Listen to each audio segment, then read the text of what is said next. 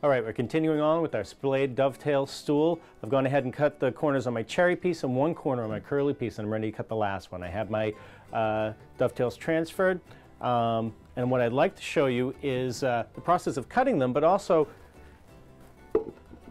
uh, how different saws affect your cut. This is a question I get in class a lot. Uh, what saw is the best saw? And really, it's what saw is best for you. My favorite saw is the Veritas 20 TPI uh, dovetailing saw. I really like it.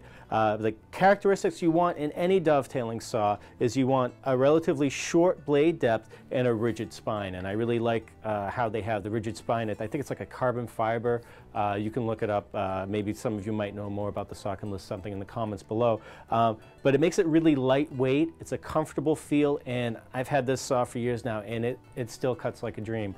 Um, when you're using this type of saw, you're going to want to take a particular stance. You essentially want to turn perpendicular to the piece, and you want to draw the saw back almost like you were drawing uh, back an arrow in a bow. Um, the reason for that is you want the saw to clear your chest. If you were sitting over the piece, and a lot of people sit over it so they can see better, and then trying to make the cut, you're going to end up rocking as your hand clears your chest, and this can cause a gap that wouldn't otherwise happen.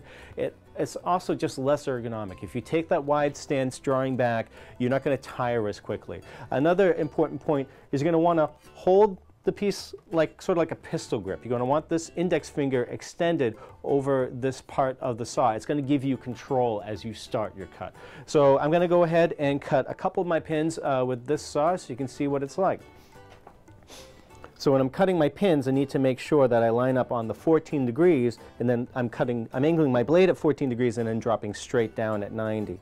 Uh, every time I use this type of saw, I uh, make a couple of saw kerfs. I draw back a few times to get a trough to start out with.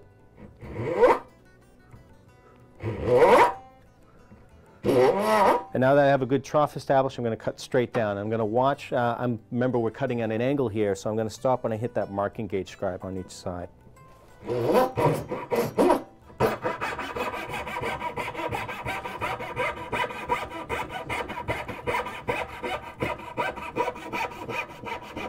Okay, I've hit the marking gauge scribe here. I'm going to go to the other side.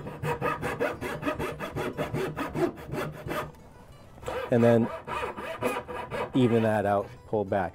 You can hear the nice even flow of that cut. I mean, I'm really not struggling at any point. Uh, one thing I do like, you might not see that I'm doing is like as I make my forward cut, I'm leaning into it, almost like the way a boxer leans into a punch. You kind of get your body weight behind it and it just makes the cuts go smoother. You can cut a lot of them without tiring. I'm going to go ahead and cut uh, a couple more and then I'll show you another saw. All right, so that's my favorite saw.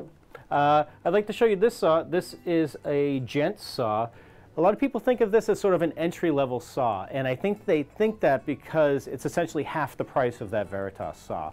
It's still a good quality saw, and the difference, I think, is your stance when you're using it. That's really the difference with each of these saws. The Gent saw, remember on the Veritas saw how we put our finger to the side? On the Gent saw, we're going to put our finger on the top. That's how we're going to get a control as we start our cut. And it's a different, uh, I suppose with the Veritas saw, we're taking a wider stance. We're using, we're sort of getting our control in the back of our arm. On the gent saw, all of our control is in our forearm. And so if you're cutting a lot of dovetails, if you're cutting dovetails for like a high boy or something where you're really going to be cutting a lot, I don't recommend this saw because your forearm tires out really fast. Uh, with the Veritas saw, uh, you're using a larger muscle group, you're able to throw your weight into the saw, and you can cut a lot of dovetails a lot faster. But if you have trouble seeing, if you're nearsighted, or if you're just you know, not confident about being on your line, this is the saw for you because it allows you to get right on top of the cut without it interfering, sort of like, remember I said it, the other saw needs to clear your chest when you take that wide body stance. This lets you take a narrower stance, get right on top of the dovetail and really see if you're on the line. So I don't think this as, think of this as a beginner saw. I think of this as a saw who, for people who uh, really need to see their line or a little bit, a little bit less confident about their placement. Um, but not good if you're cutting a lot of dovetails. So let's go ahead and cut this, the other side of this pin. And you'll see I can get my I can get right on top of it. I'm not far away. I can see very clearly if my if the teeth are set on the on my uh, knife mark. I'm going to do a couple cuts and then a little tougher to get started because I can't throw my weight behind it. When you're getting started, sort of rock it back and then lean in as much as you can with your arm.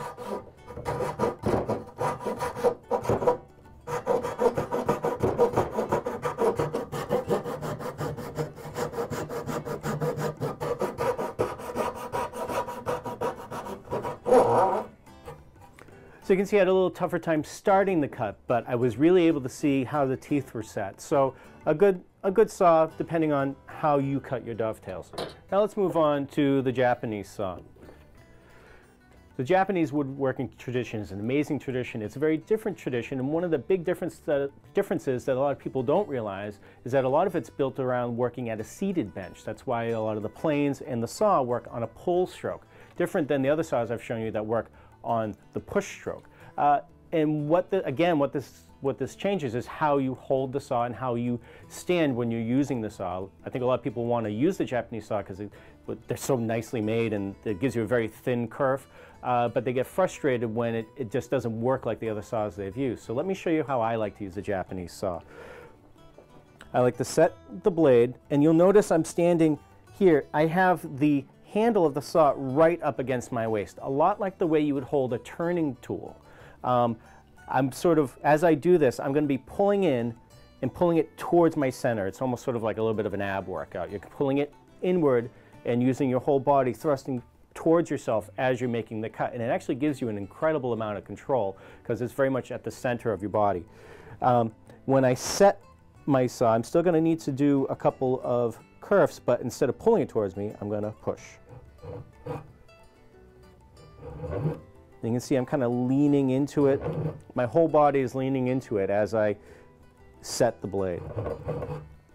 And it, it is nice working with such a thin blade.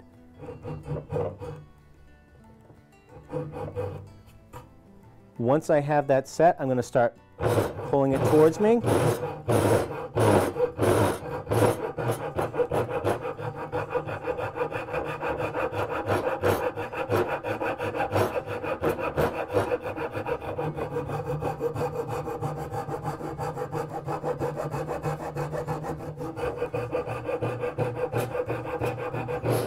Very nice. That made a nice smooth cut. It was very comfortable to make the cut. And I felt like I had a good amount of control, keeping it straight 90 degrees. Uh, and a lot of that came from the blade being against the side of my body. So, uh, and another thing that people like about these is they're often made so you can very easily replace the blade and not have to have it sharpened. Um, a great saw, so those are three types of saws. I'm going to go ahead and make the rest of my cuts with my favorite saw, the Veritas dovetailing saw. And in the next video, I'll show you how to get the waste out in between using our jeweler's saw and a couple of tricks. See you in the next video. Subscribe for more woodworking videos.